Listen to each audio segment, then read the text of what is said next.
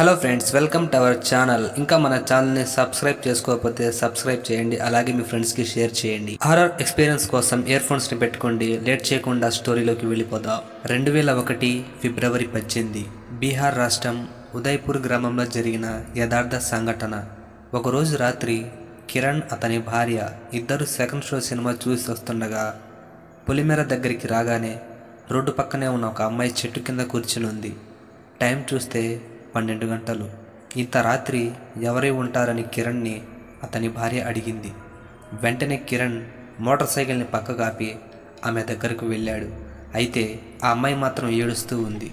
ఎవరు నువ్వు? ఇంత రాత్రి ఇక్కడేం చేస్తున్నావని కిరణ్ అడిగాడు. ఆ అమ్మాయి నేను ఇక్కడే ఉంటాను.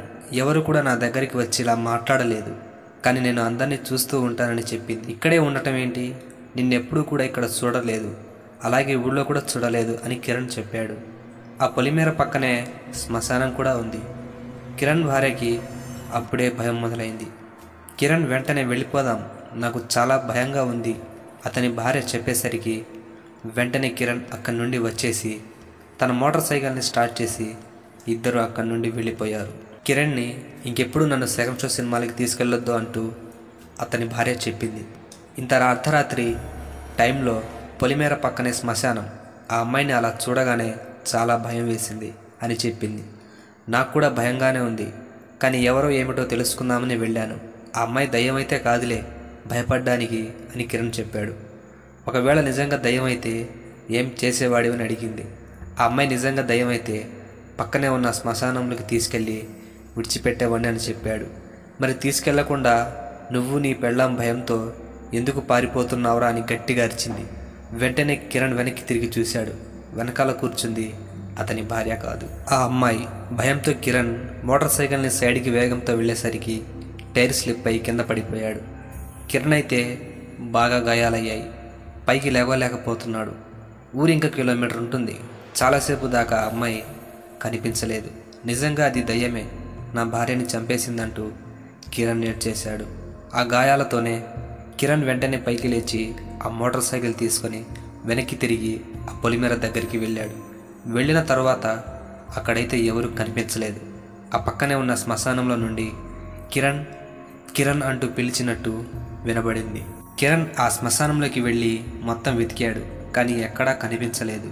తిరిగి వెంటనే రోడ్డు మీదకి వచ్చేశాడు. అమ్మాయి కూర్చున్న చెట్టుకి ఎవరో వేలాడుతున్నట్టు కిరణ్కి కనిపించింది. వెంటనే పరిగెత్తుకుంటూ వెళ్ళి చూశాడు. అది ఎవరో కాదు కిరణ్ భార్య. వెంటనే చెట్టు పైకెక్కి ఆ తాడు తీసేశాడు. అయితే అప్పటికే అతని భార్య చనిపోయింది. కిరణ్కి ఏం చేయాలో అర్థం కాక అక్కడే కూర్చొని ఏడుస్తూ ఉన్నాడు. ఉదయం ఐదు గంటల సమయంలో పొలానికి అటువైపు వెళ్తున్న వ్యక్తులకి చెట్టుకి ఏదో వేలాడుతున్నట్టు కనిపించింది.